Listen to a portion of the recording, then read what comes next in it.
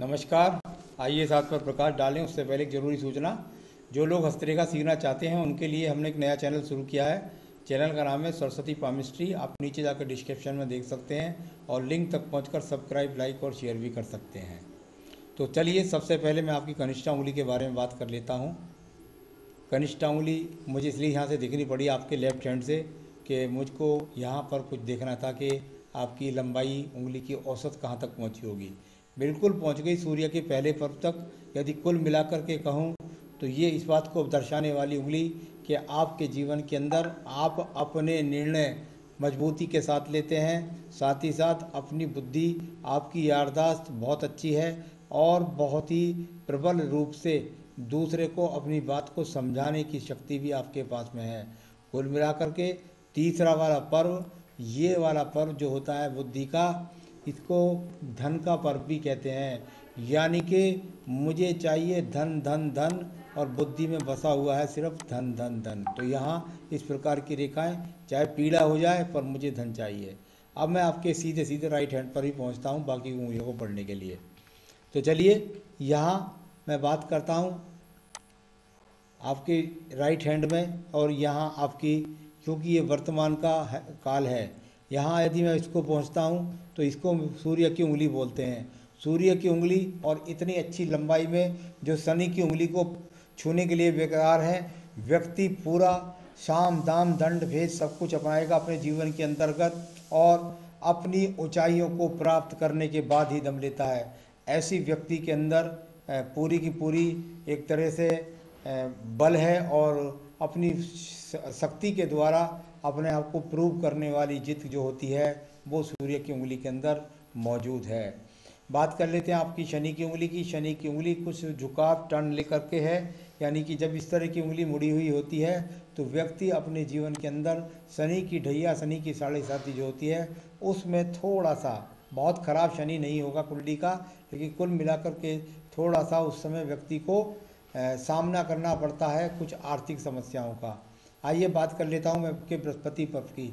ये बृहस्पति की उंगली और बिल्कुल अच्छी अनुकूलता के साथ में जहाँ सुख सुविधाएँ देती है तो ऐसी बात नहीं है, व्यक्ति दान पुण्य भी करता है, जहाँ उसको दिखलाई देता है, वहाँ दान पुण्य भी कर देता है, हॉस्पिटल्स में भी दान पुण्य कर देता है, परंतु ये बीच का इतना बड़ा गैप, जब जब व्यक्ति के पास में मौजूद रहेगा, व्यक्ति धन जहाँ कितना भी कमा ले इन्वेस्टमेंट उसका धन बहुत तेज़ी से होता है। तो यहाँ धन के आगमन कितने भी सही परंतु इन्वेस्टमेंट भी बहुत ज़्यादा मजबूती के साथ है। ये इस प्रकार को दर्शाता हुआ आपका यहाँ पर बृहस्पति की उंगली भी है। अब बात करता हूँ आपके बुद्ध पर्व की।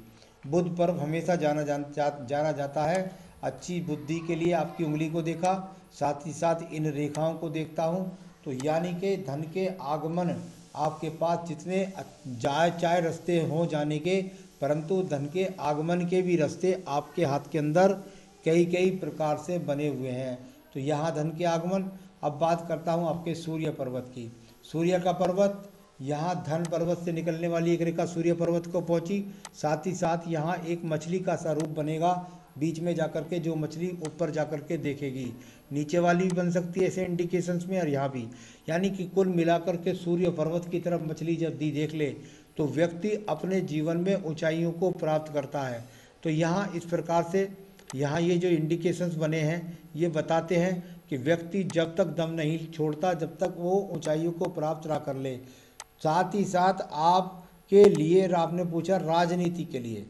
राजनीति के लिए जो इंडिकेशंस यहाँ पर चाहिए, सूर्य पर्वत की मछली राजनीति में सफलता दिलाती है। राजनीतिक योगों में ले जाती है। राजनीति के कार्यों को करने से व्यक्ति धन भी कमा लेता। अब बात करूँगा आपके एक और पर्व की जिसको बोलते हैं यहाँ पर धन का पर्व, यानी कि यहाँ शनि का पर्व। शनि का पर्व, धन का पर्व और यहाँ पर बहुत सारी रेखाएँ अगर देखें, नीचे से जाकर के ऊपर को स्रोत बनाती हुई, यानी कि कई कई स्रोतों के द्वारा कई कई माध्यमों के द्वारा धन के आगमन यहाँ बने हुए हैं। तो ये इस प्रकार की रेखा यहाँ पर इंदिकित करती है। तो आपके पास धन के आगमन अंत समय तक भी बने रहेंगे। यहाँ दर्शाती हुई आपकी ये जो रेखाएँ जो खड़ी हैं इनको धन रेखाएँ कहते हैं, वो भी यहाँ पर दर्शाती हैं। आइए बात कर लेते हैं आपका यहाँ एक छोटा सा एक्स का चिन्ह और साथ ही साथ ये खड़ी रेखाएँ। जीवन के अंदर कई सारी संपत्तियों के मालिक, पैतृक संपत्ति का मकान भी आपको अवश्य मिलेगा। तो चलिए, ये यहाँ बृहस्पति पर्व की बात हो गई। अब बात करूँगा आपकी मुख्य रेख रेखा के बारे में। आपके हाथ की रेखा, और यदि मैं देखता हूँ तो यहाँ पर विवाह रेखा, एक, दो, और ये तीसरी रेखा ने जाकर के दिखा दिया हृदय रेखा को।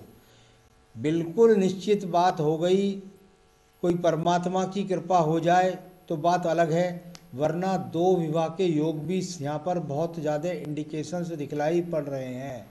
तो साथ ही साथ यदि दो विवाह ना हो तो हृदय रेखा यहाँ जाकर के शुरू से ये दोहरी रेखा के साथ और ये जीवन के लगभग अड़तीसवें वर्ष के बाद में बनने वाला ये द्वीप यानी कि आपके हृदय संबंधी आपकी पत्नी आपके, को आपके कार्यों के द्वारा दुख पहुँचे ऐसा समझ सकते हैं। साथ ही साथ एक इंडिकेशन और भी बता रहा हूँ।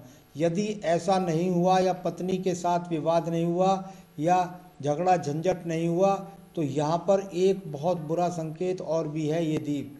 यानी कि कुल मिलाकर के 38 साल से लेकर के और लगभग लगभग यहाँ आप कह सकते हैं 55 वर्ष की आयु तक आपको स्वास्थ्य संबंधी समस्याओं का सामना, किसी बड़े एक्सीडेंट का सामना या किसी बड़े रोग के के कारण सर्जरी का सामना इस तरह की अवस्थाएँ यहाँ पर बनी हुई है। तो ये अच्छे संकेत यहाँ कुल मिला के आपकी हृदय रेखा से मुझको दिखलाई नहीं दिए। अब मैं बात करूँगा आपकी मस्तिष्क रेखा के बारे में। आपकी मस्तिष्क रेखा, चलिए पहले मस्तिष्क रेखा ले लेता हूँ। और मस्तिष्क रेखा शुरू में बहुत गहरी है और बाद में जाकर के हल्की है। यानी कि आदमी बहुत कटु वचन से, बहुत कड़े दिमाग से, यानी कि कह सकते हैं कि कमज़ोर व्यक्ति नहीं है, दबंग टाइप का होता है और व्यक्ति अपने कड़क निर्णयों के द्वारा जाना जाता है। यानी कुल मिलाकर के कहूँ तो हृदय अगर कड़क है और साथ ही साथ यहाँ मस्तिष्क से लिए हुए निर्णय भी कठिन ही व्यक्ति के होते हैं। तो यहाँ इस प्रकार की रेखाएँ जाकर पहुँच रही हैं सिर्फ़ और सिर्फ़ सूर्य के पर्वत तक, बहुत ज़्यादा गहराई में यानी यस यस यस मुझे चाहिए, ऐसा दर्शाने वाली ये रेखा। अब मैं बात करूँगा आपके मंगल पर्वत के बारे में। मंगल पर्वत और ये मंगल पर्वत यहाँ पर बहुत ज़्यादा उठा हुआ है। इतना ज़्यादा मंगल पर्वत का उठा हुआ होना अच्छा नहीं कह रहा था। यानी कि ये व्यक्ति को ज़्यादा मनमानी करने के लिए करता है, साथ ही साथ व्यक्ति का साहस ज़्यादा बढ़ा हुआ होता है। ऐसा व्यक्ति इन रेखाओं के द्वारा मांगलिक, जन्मजात मांगलिक भी होता है। तो कुल मिलाकर के ये रेखाओं के संकेत मैं अति साहस के लिए आपसे मना करूँगा। कहीं किसी झगड़े झंझट के मैंने दिखाया बता भी दिया कि 38 साल से लेकर 55 तक बहुत डिफ़िकल्ट टाइम है आपके लिए।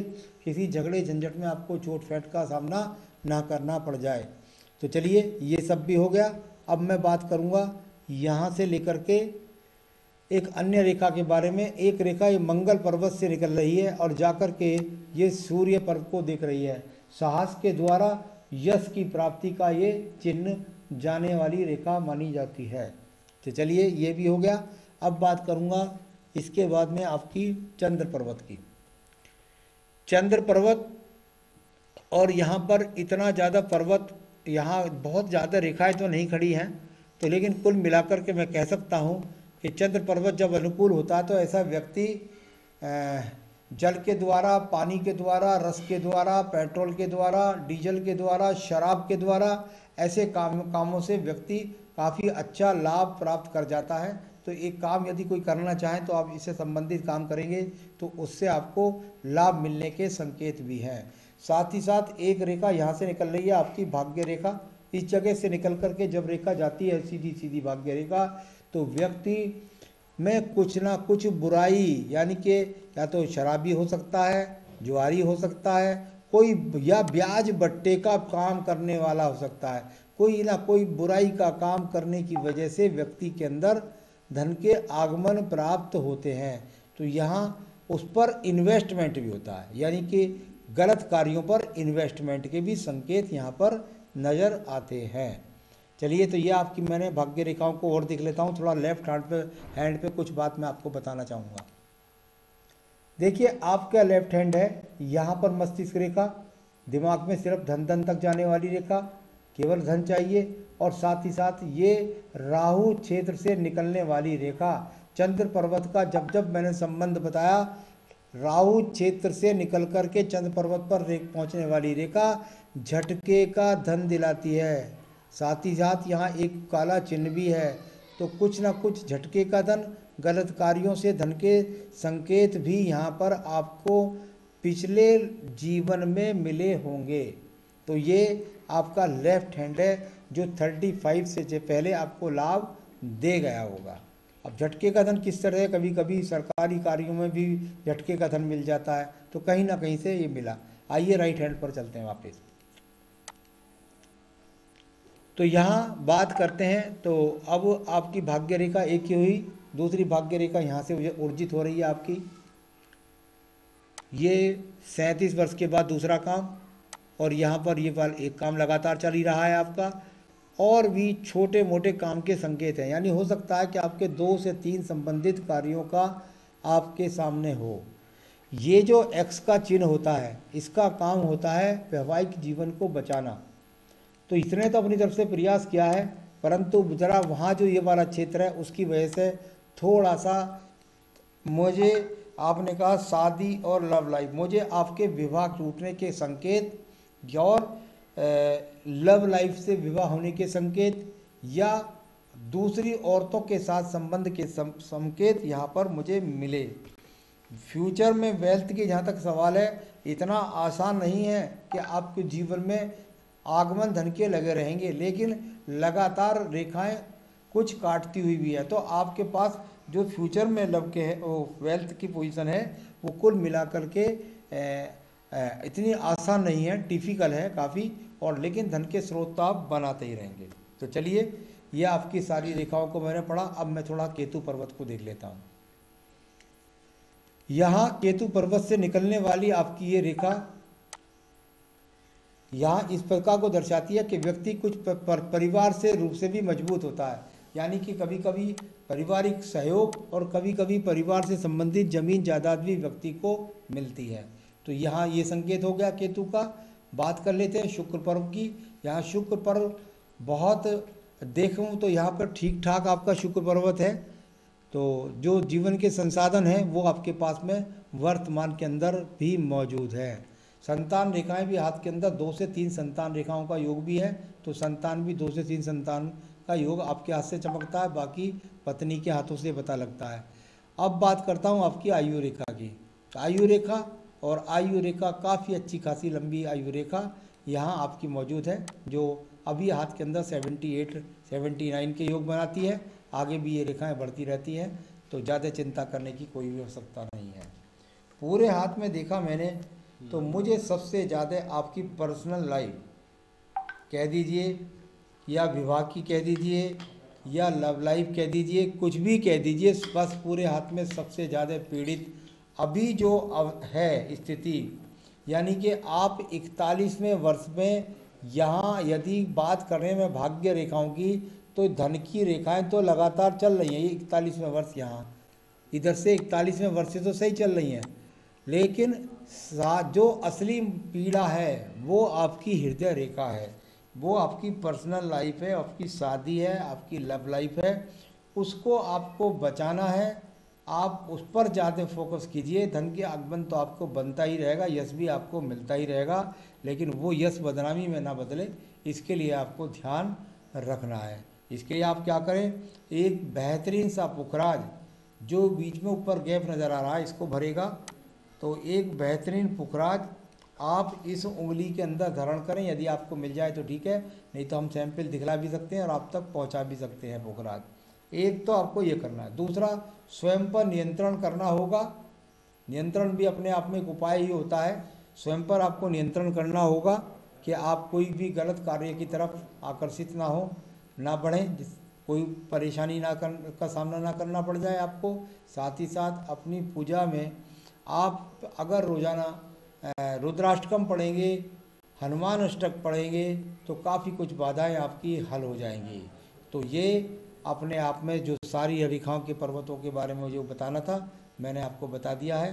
बस इतना भर कीजिए, अपने जीवन में आप खूब तरक्की करें। यही मेरी शुभकामनाएँ हैं। नमस्कार।